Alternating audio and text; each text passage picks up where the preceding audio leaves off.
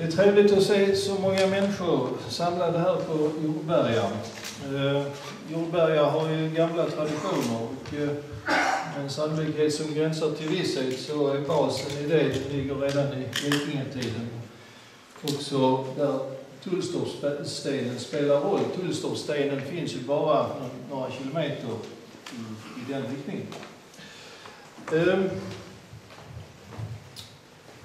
det är eh, äntligen, säger jag, har eh, det här bokprojektet eh, kommit i hamn.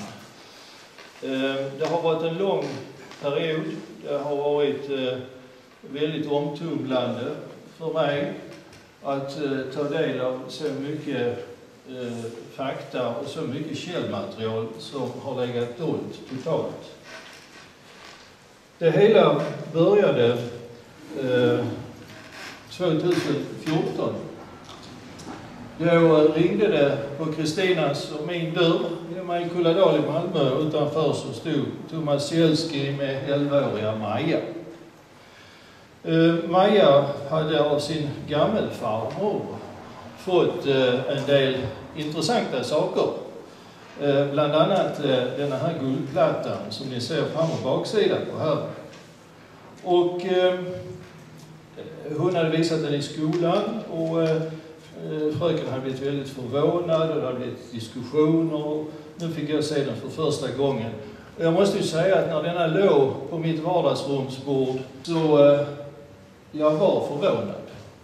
Thomas Elski säger själv att det såg, jag, såg han tydligt på mig. Eh, Guldplattan den eh, har en eh, text där det står Arald Gormsson, Rex Altaner, eh, Shonen, Jumne, Kiv Aldin. Alltså Harald Blåtand, kung över Daner och Skåne och eh, Jumne i biskopssätet Aldinborg. Och dessutom har den här korset på baksidan. Detta blev starten för att ta reda på vad i hela friden är detta. Här har vi en polsk familj som har kommit på 1988 till Malmö och eh, en eh, eh Thomas Jelskis farmor, hon var en hoarder, en samlare. Hon kunde inte kasta någonting. Så när hon kom till Sverige hade hon med sig 250 stora papplådor med handlingar. Det är brev och det är foto och allting. Jag trodde inte mina ögon på detta. Men tack, tack Stanislava för att du var en samlare. För tack vare detta så har vi kunnat följa hela den här otroliga historien långt bak i tiden. Det hela startar i Jevkovo som eh, ligger, eh, det är en liten by som ligger eh, strax öster om Wolin i norra Polen. Och eh, i de här samlingarna så finns det då avskrifter av prästens dagböcker från 1800-talet. Han är med när man ska bygga den här kyrkan som ni ser i Vjevkovo. Den skulle man bygga över en medeltida ruin. Och eh, det, så, så händer detta 1841. Den nya kyrkan i Vjevkovin vid Volin ska börja byggas. Den 11-åriga Heinrich Bolt hittar en gravkammare med enorm guldskatt. För en tredjedel av guldet kan hela församlingen fly till USA undan religionsförföljelse. Prästen börjar söka efter uppgifter om graven i grevens bibliotek. Han hittar då handskriften Gesta Valensis och då han är släkt med greven får han ta den med till prästgården. Och där blir den. Och det blir fram till 1945 i prästgården. Tillsammans med en massa andra medeltida brev från 1100-talet. Ehm, en tredjedel av guldet Eh, fick församlingen. Det pågick ett religionskrig i Pommern vid denna tidpunkten och eh, de ville eh, fly och bilda Freie Stadt i Wisconsin i Amerika, var med i det gänget som bildade det. Och det kunde de tack vare att de fick en tredjedel av guldet. En tredjedel av guldet gick till Heinrich Bolt och en tredjedel behöll greven själv. Ehm, men eh, eh, guldet lades tillbaka i eh, kryptan när den här kyrkan var byggd därför att grevens dotter som då var kusin med prästen hon var väldigt religiös och hon ville inte att man skulle göra någon inkränkning på gravfriden. Cirka 1843. Detta är alltså utifrån prästens egna dagboksanteckningar. Och det är dagböcker på flera tusen sidor skrivna på tyska. Eh, cirka 1843. Prästen från Vievkov flyttar till ön Hiddensee med Heinrich Bolt. Heinrich har med sig hälften av sin gulddel och han gräver ner guldet på ön för att det inte det ska stjälas. Detta står i prästens dagbok. 1846 så Heinrich Bolt tvingas att snabbt ta sig till USA för att undgå militärtjänstgöring. Guldet blir aldrig uppgrävt. Prästen återvänder till Vjevkovo och dör cirka 1866. Allt enligt prästens dagboksanteckningar. Eh, Heinrich Bolt på 1800, början av 1860-talet skriver ett brev till prästen där, det, där han klagar över att han borde ha grävt fram upp guldet och ta med sig därför att han bor nu i, i New York och har familj och tre barn och han eh, är i så att säga fattiga omständigheter. Um, Hiddensee. Um, den här bilden är Bill Jörgen Nilsson, som finns här med. Han har tagit det, det är från utställningen här i Stralsund. 1872 blev det en enorm stormflod och plötsligt så stod de inför ett enormt guldfynd från Harald Blåtands tid i Hiddensee. Ingen vet varför den ligger där, för Hiddensee det har inga som helst kopplingar någonstans till vikingatiden. Men enligt prästen så är detta delar av det guld som en gång låg i den här graven.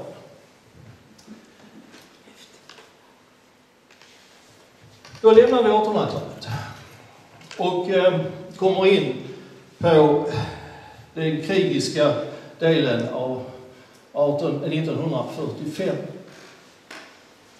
Personen här i mitten, det är Stefan Sielski som eh, när nazisterna invaderade hans älskade land anslöt sig till den sovjetiska armén med den fria, eh, fria polska armédelen och kämpade under hela kriget mot nazismen.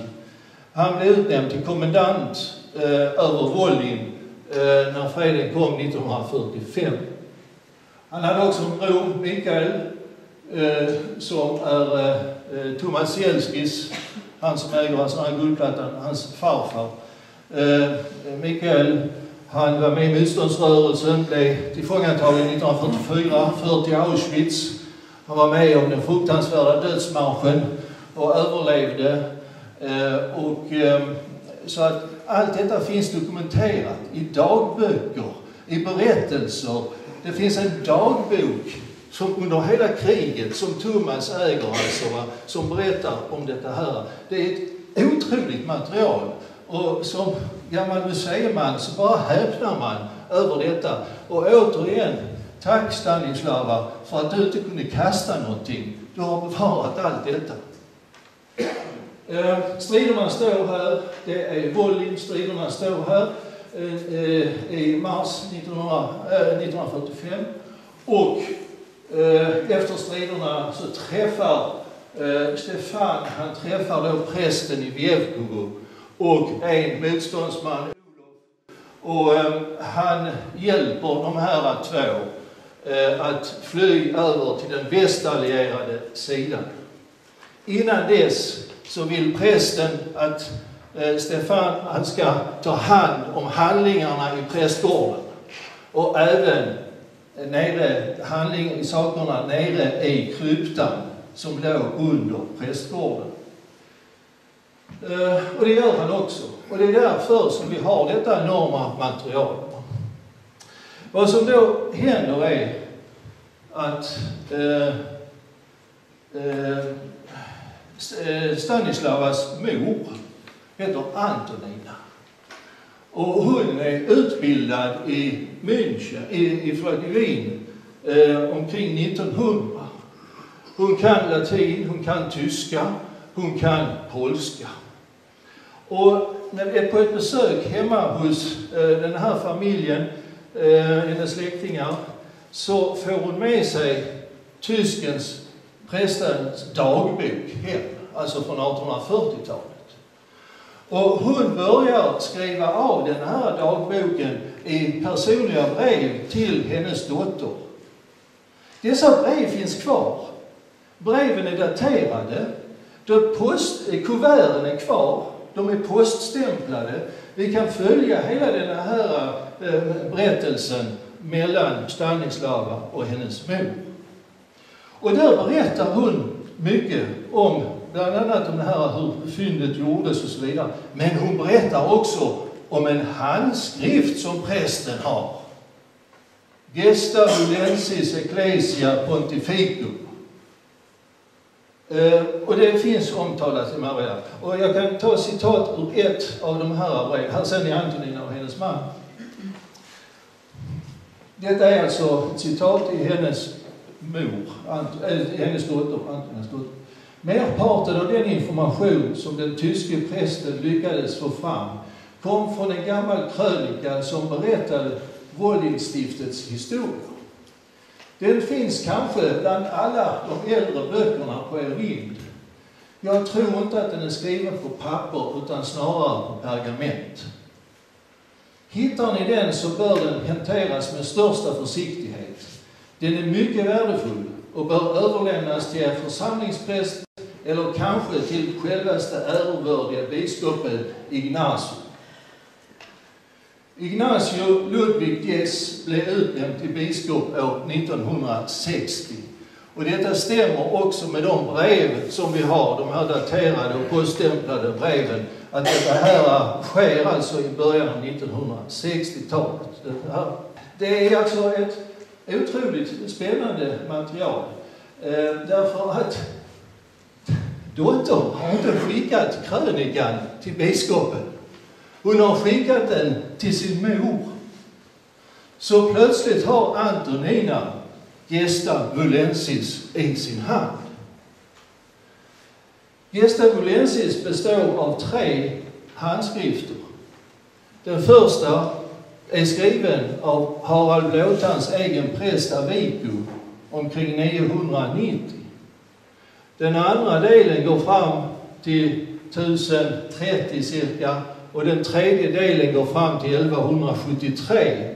Och där finns oerhört mycket om Polens historia i den här biten. Det är ju danernas historia först, men sen så är det Polens historia. Jag tror personligen att Antonina, eh, det var Sovjettiden. Och det låg inte i Sovjetmaktens intresse att lyfta fram slaverna som ett ärorikt folk. Och hon var nog rädd för att den här skulle eh, försvinna, helt enkelt. Och det är därför hon sätter sig ner och översätter denna till pols från latin till polska. Vi kan gå in på året 937 i den här krönikan. För att få hjälp till Hermann Princips Militie i Saxien i början av striden om tronen fick Gorm, Gorm det är Harald Blåtands far, överlämna sin son Knut och sedan hans yngre Harald, hans yngre son Harald som gisslan. De döptes av den framstående ärkebiskopen Adeldag och efter att ha lämnat biskopssätet Bremen växte de upp i den kristna tron i palatset i Merseburg och senare i, senare i Quedlinburg. Knut och Harald döptes samma år som Adeldag ordinerades till ärkebiskop och började sin verksamhet. Han ordinerades till ärkebiskop i Bremen Eh, år 937. Harald Blåtand är född 932 enligt krönikan. Så de döper, döps alltså som barn. De är kristna under hela sitt liv. Men eh, hur stämmer då detta med att Harald Blåtand, han döptes på 960-talet enligt senare källor? Ja, det står också i Gästa. Under 960, herrans alltså år 965, strax i början av året, återvände kung Harald ensam härskare över danskarna från Jomsborg. Eh, hans far Gorm hade dött sommaren 964 i Gästa. På den plats som kallas Denermark, vid stenen som markerade gränsen mot biskopsdömet i Slesvig, mötte danskarnas kung den utsände för prins Herman och i närvaro av den vördade biskopen Gopol och med dennes välsignelse förnyar han sin tro på Jesus Kristus, vår Herre, och överlämnade sig och sitt land i skydd hos påven Leon. Han har ju blivit döpt när han var liten, han blir kung, hans far är, är, är hednisk, han har dött. Han vill markera inför sitt folk att det är kristendomen som gäller, punktum ändum, och därför förnyar han sitt dop. Detta är en bit. Det finns mängder med sådana här saker i den här eh, skrivningen. Eh, Avipo. Det står flera gånger jag Avipo i den här berättelsen. Så det är liksom ingen tvekan om vem det är som har skrivit det här, eh, vilken person det är. Eh, då kommer vi in på Haralds död. Det har jag också tagit med i den här biten. Ehm, och då skriver man så här. Dessa dagar skulle emellertid aldrig ha blivit ihågkomna för de kommande generationerna om det inte hade varit för en viss krigare vid namn Wulf, eller Ulf, son till en storman Glibir i Tjanvjoe, alltså Skåne. Wulf var en ädel krigare från laget i fästet Jomsborg, som tjänstgjorde under skölden av den behornade draken sedan sin ungdom. Wulf kunde inte motstå att hämnas de orättvisor som tillfogats honom av en av kung Haralds allierade och hetsad av Toke lurade han på sin motståndare i bakhåll. Den Toke som omtalas här är Harald Blåtands lillebror Toke Gormsson som satt som lydkung i Skåne. Nu blir det liksom lite spännande i den här berättelsen. Därför att um, Harald är ju kung. Vi är alltså inne på året 984. Harald är kung. Han har då sin lillebror Toke som kung över Skåne. Men hans storebror Knut är död. Och Knut har en son, Sven. Sven Tveskägg. Sven Tveskägg är alltså inte son till Harald, utan han är son till Knut.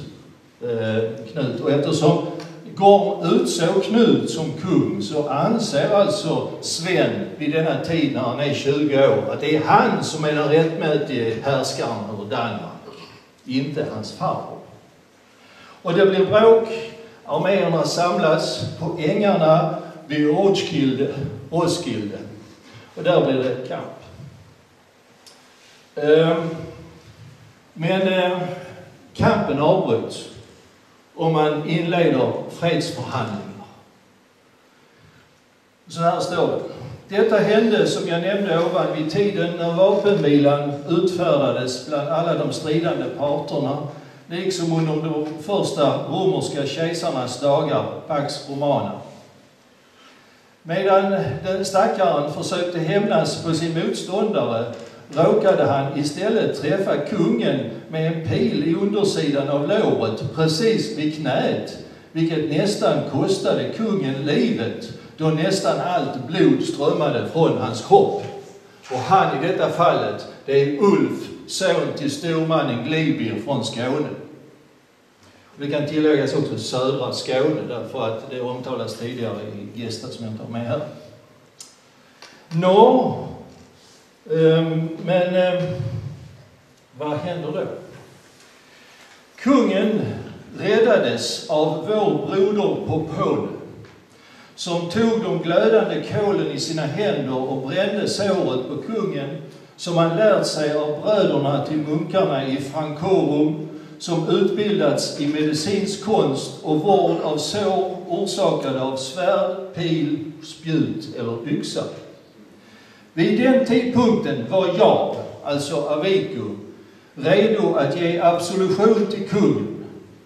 Men hans själ återvände till honom och plötsligt fick han liv som om ingen någonsin hade skadat honom. Aviko är alltså själv närvarande vid denna dramatiska händelse. Och här kommer in detta här med Tullstorpsstenen. Därför att det står också att Toke reste stenar efter Ulf.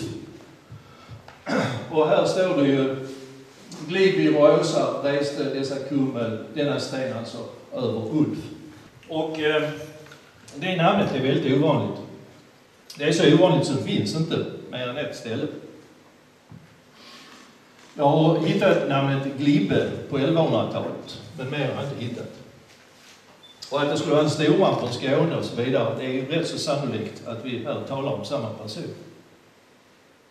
Kungen, han eh, eh, eh var ju sårad och det står så här om hans sista dagar. Kung Harald, som var gammal och under längre tid utsatt för feber på grund av sår på hans kropp och hans hjärta, lämnade denna världen för vår Herre Kristus. Detta hände under det 25 året av hans regeringstid och ett år och sju månader efter hans ankomst till ön Jumlin och hans påtvingade exil i fästet vid sjön Jumdo. Där blev han begravd i kyrkan som han själv uppfört. Hans grav fanns bredvid biskopen Vago som hade lämnat denna världen bara ett halvt år tidigare. Detta är kyrkan i Bjävko. Och här ser ni också hur Antonina skriver detta här. Detta är ju den här sidan hon skriver på, på. Det som är unikt är att sen längst upp till höger, hon daterar varenda sida när hon jobbar med detta. Så denna sidan, den här översättningen har gjort den 22 i 9 1963. Det är alltså en otrolig, fantastisk dokumentation av detta som vi kan följa framåt. Och vi kan följa det i hennes brev till dottern också, som är poststämplade och, och, och så vidare. Detta var lite, några bara korta bitar ur gesten.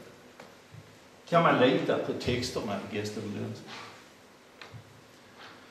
När jag träffade Thomas första gången hösten 2014 så sa jag till honom, Thomas, jag kommer inte att göra allt som står i min makt att försöka hitta något som säger att detta är fake. Jag har jobbat med detta i flera år. Jag har inte hittat någonting. Däremot har jag hittat väldigt många saker som bevisar att det är rätt. Problemet är ju att vi inte än har originalet. Vi tror oss veta var det finns, men eh, det är en annan sak. Min bevisföring baseras på arkeologi. Jag är inte någon historiker. Har aldrig varit någon historiker, kommer aldrig att vara någon historiker.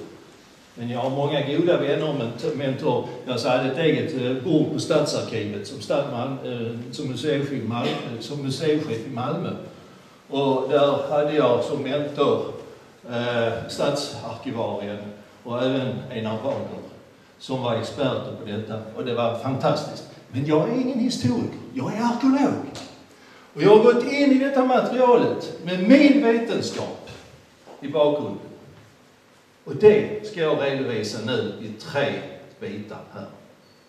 Först är det så här att man måste ju analysera det källmaterial man har. Och i detta fallet så är det den här handskriften eh, i de här eh, spiralblocken. Men också källmaterialet mellan alla de brev som är bevisligen är växlade mellan dotter och moder. Vi har gjort en analys av pappret. Självklart måste man göra det. Och eh, vi sände materialet till en professor i kriminalteknik i Polen. Och han fick eh, analysera en del av papperna här.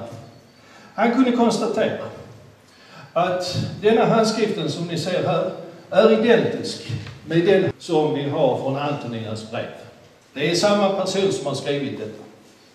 Antonina dör 1979. Det kan inte vara yngre än 1979.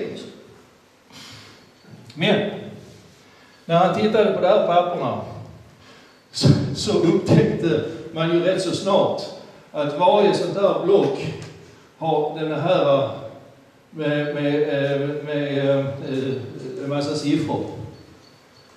Och det var så stipulerat i det kommunistiska Polen att man tryckte man en sån här sak så var man, fick man ett registreringsnummer som gällde för den produkten i tre år framåt. Sen fick man ett nytt nummer. Ordning och reda. Det här blocket här, det började tillverkas i februari 1962.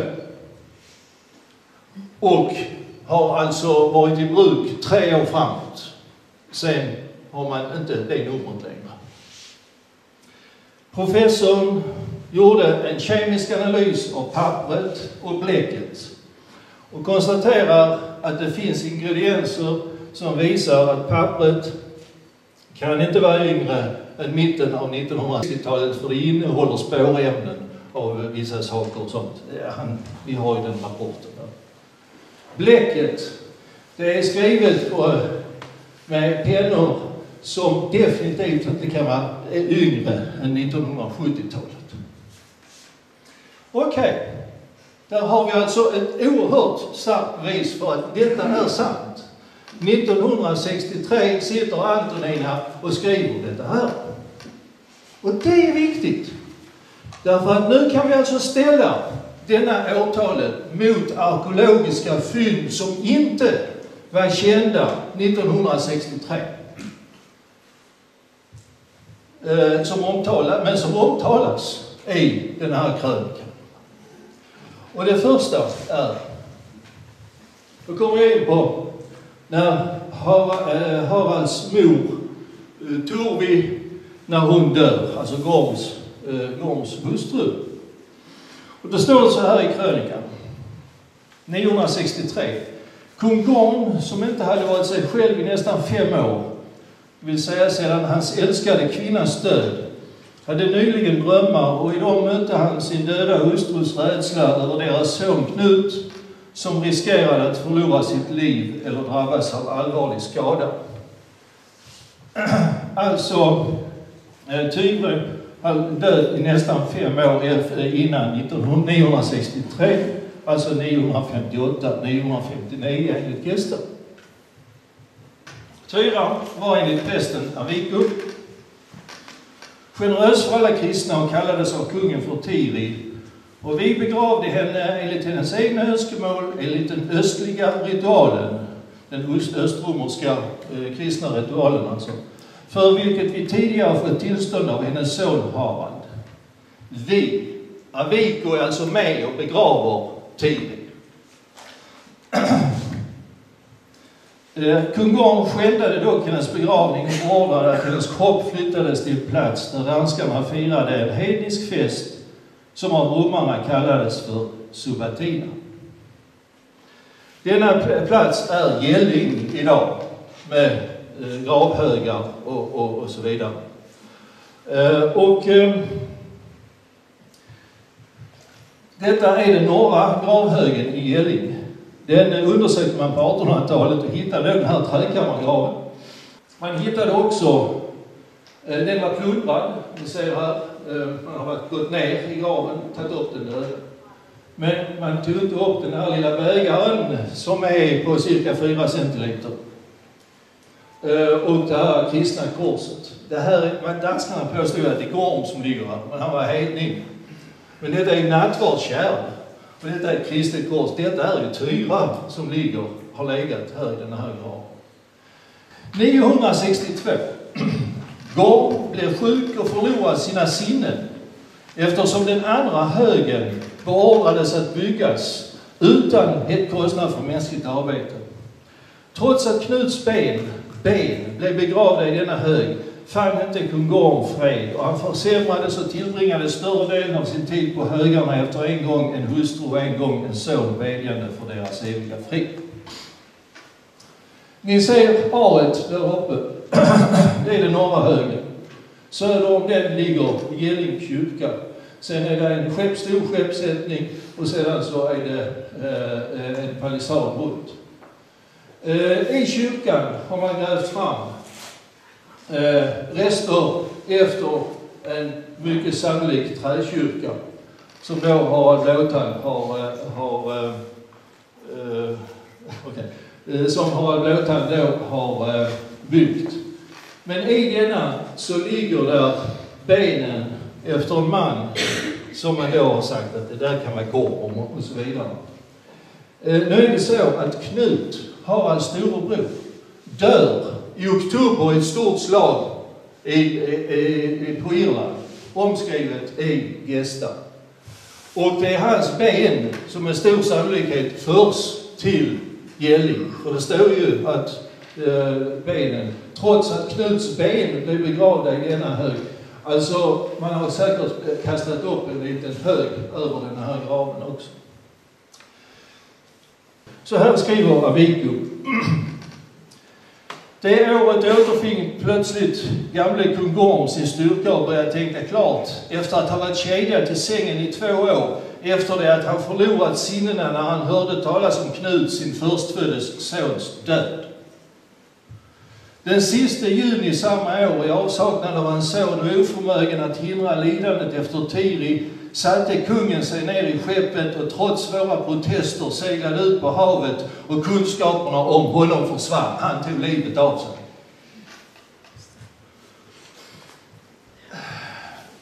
Nu, och, eh, det är alltså sommaren 964 som han försvinner. Och det är först då som Harald blir ny kung. Alltså kung Gorm, han har kastat upp den här stora högen över sin mor över sin, sin hustru. Eh, och eh, han har ju till och med skändat hennes grav. Hon är kristen. Och nu kan alltså Harald gräva upp henne och troligtvis bygga den här kyrkan över Knut, som också är kristen. Om vi då tittar på arkeologiska fakta här. Man har gjort dendrodateringar på gravkammaren. Tyras gravkammare är byggd vinterhalvåret 958-959. Eh, upptagningen av hennes kvarlevor är gjord vinterhalvåret 964-965. Det vet vi därför att det är träbitar som man har kunnat datera i det här upptagningshålet. Gestavulensis uppgifter, hur stämmer det då med detta? Där står 963 var det nästan fem år sedan Tyra dog. Det stämmer alltså med vinterhalvåret 958-959.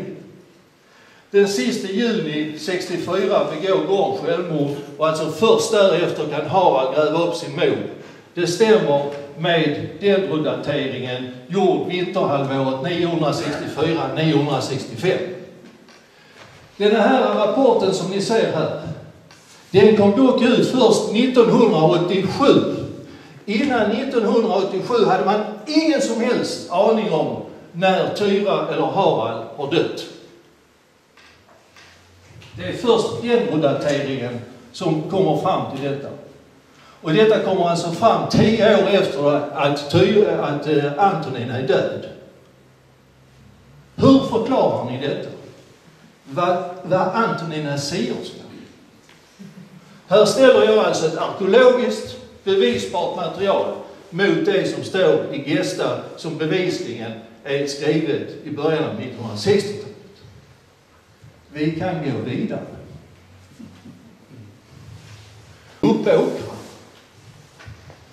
Professor Lars Larsson skriver i Uppåkra i tidskriften Alår 2002 ett märkligt hus. En mycket tydlig hustomt framkom 2001 omedelbart under matjorden. Den bestod av ett golv av gul lera som omgavs av en väggränna. Huset var endast 13 gånger 6,5 meter stort. Husets form, liksom fynden, tyder på att det används vid speciella ceremonier och därför bör betecknas som ett kulthus, ett tempel. Man började gräva Uppåkra 1990. Ja, när jag läste arkeologi i Lund på 1970-talet så talade man inte om uppåkrar. Det hade varit en grävning på 30-talet, men man talade överhuvudtaget inte om uppåkrar. Det var först när danska metalldetektorsökare kom dit, fick tillstånd att gå där, som det började pipa i deras öron. Och det var ju fantastiska saker man hittade. Och detta gjorde att arkeologerna i Lund satte igång och gräva 1990. Men först 19, eller 2001 så hittar man templet. Först då börjar man koppla Uppåkra som en stor hednisk plats. Och det här templet har man, kunnat konstatera har stått där i flera århundraden. Där finns tjocka lager, man kan följa templet ner genom lagren.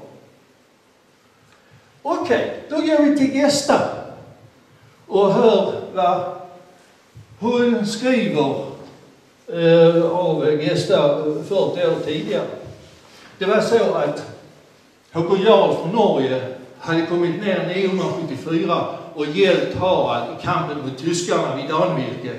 Och nu seglade han hem och han blev ovän med den danske kungen. Och han bränner på båda sidor om Öresund.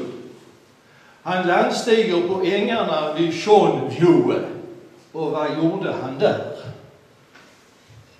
Tokar, alltså tog igång som kung av Skåne, och resten av de troende hittade sedan skydd på platsen för de döda som varit vigd till hedniska gudar i århundraden och lovade att ett tempel skulle byggas för Herren om de alla räddade deras liv. Det hände också och Toka beordrade att Guds tempel skulle uppföras och jag, alltså Aviku, helgade hörnstenen och på den ristades de heliga tecknen att det var Toka som beordrade detta Herrens tempel i staden Luntrarum att byggas. Här har vi alltså en koppling Lund och någon hednisk plats bredvid e i århundradet. Detta skriver hon 1963, daterat på det bladet har jag för mig den 5 maj. Men detta kände man inte till förrän år 2001, arkeologiskt. Hur förklarar man detta? Var Antonina sierska? Jag tar in det tredje exemplet.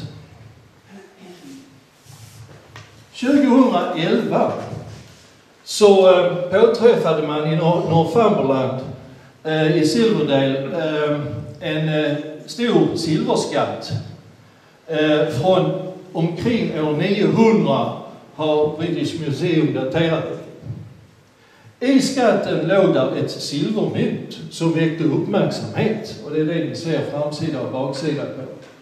Där står Rex Canutus Aidre. Varför väckte det uppmärksamhet? Jo, därför att denna kung, som Knut Canutus, det måste vara en dansk kung, är överhuvudtaget icke känd i det bevarade skriftliga källmaterialet, handskriftsmaterialet från medeltiden och framåt. 2011 så dyker det plötsligt upp en okänd kung. Vissa menar att det kunde vara Hardaknut eh, som man har skrivit om, alltså Hardaknut är en senare källa. Eh, men ordet Aidre finns överhuvudtaget inte. Jo, det finns. Antonina skriver om denna kung när hon skriver av Gesta 1963 ett halvt sekel innan forskningen hittar denna kung. Hon skriver så här. I Svitjov och Norröj fanns det män som citat strävade att ta över makten över alla daner och genom åren skapade det stora bekymmer för ättlingarna till Olof den förskräcklige eller Kanuta Vysukiego, alltså den höge. Den senare erövrade det land som heter Northumbrak med eld och svärd. Och där hade han makten antagligen före eller under Benediktus den fjärdes regeringstid.